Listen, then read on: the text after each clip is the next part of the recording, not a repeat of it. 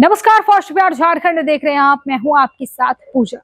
विशेष राज्य के दर्जे के मुद्दे पर खूब सियासत हो रही है। सदन में विपक्ष जो है, लगातार विशेष राज्य के दर्जे को लेकर हंगामा कर रहा है। वहीं इस बीच केंद्रीय बजट आने के बाद विपक्ष एनडीए सरकार पर चारों तरफ़ से हमलावर दिख रहा है।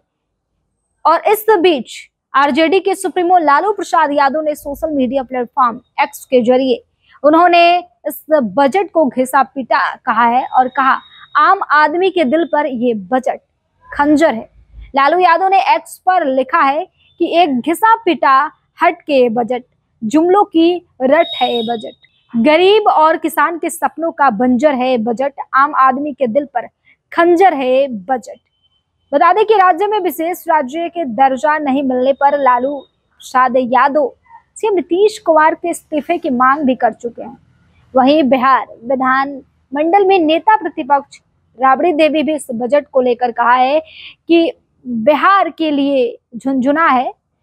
उन्होंने केंद्र सरकार को बताया है कि उन्होंने बिहार को ठग लिया। नीतीश कुमार की मांगे पूरी नहीं हुई, उन्हें एनडीए छोड़ देना चाहिए।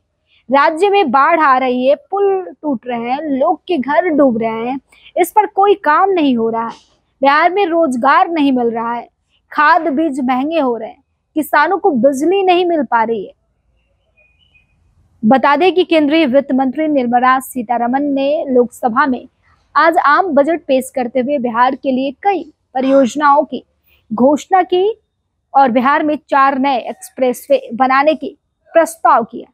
इसके लिए छब्बीस हज़ार करोड़ रुपए के पैकेज दिया गया बिहार को। इसके अलावा इक्कीस हज़ार करोड़ रुपए का पावर प्लांट लगाने का भी ऐलान किया गया। वहीं इससे पहले जो है, सोमवार को सरकार की तरफ़ से साफ़ कहा गया कि मौजूदा प्रावधानों के तहत में बिहार को विशेष राज्य का दर्जा नहीं दिया जा सकता। लेकिन अब विपक्ष जो है, ये मानने को तैयार नहीं है और लगातार बिहार विधानसभा में विपक्ष जो है, एनडीए सरकार को घेर रही है, बता रही है कि नहीं, अब नीतीश कुमार को इस्तीफा दे देना चाहिए। कल लालू यादव ने भी कहा, और आज उनकी पत्नी और बिहार के पूर्व मुख्यमंत्री राबड़ी देवी भी हमलावर रही। बिहार को नीतीश जी ने विशेष राज्य का दर्जा नहीं दिलाया, उनका भी यही कहना था।